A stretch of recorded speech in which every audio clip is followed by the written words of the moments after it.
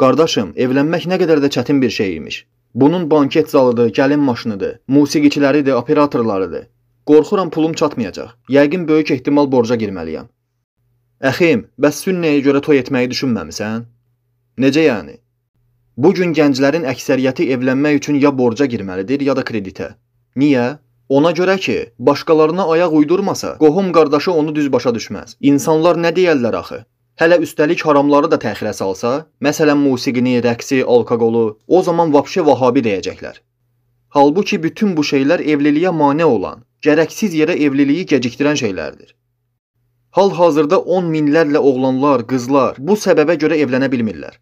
Bu da nəticədə insanların günaha, zinaya düşməsinə səbəb olur. Unutmayın, nigaha gedən yol çətinləşdikcə zinaya gedən yol asanlaşır. Qardaşım, mənim sənə məsləhətim sünnəyə görə evlilik et. Artıq gərəksiz xərclərdən çəkin, israf etmə. Ona xərcləyəcəyin pulları da götür evinə əyər əysiklərini tamamla. Bəs çalıb oynamaq olmasa, içki olmasa, qohum əqrəbəm 2 il atıb tutarlar məni. Qardaşım, əgər sənin nigahın haramla başlayacaqsa, orada xeyir bərəkət olmayacaq. Allah Subhanahu va Taala bu dini insanlara asanlaşdırmaq üçün göndərib, çətinləşdirmək üçün deyil. Odur ki, Allahın asanlaşdırdığını siz çətinləşdirməyin. Əssalamu alaykum və rəhmətullahi və bərəkatuh.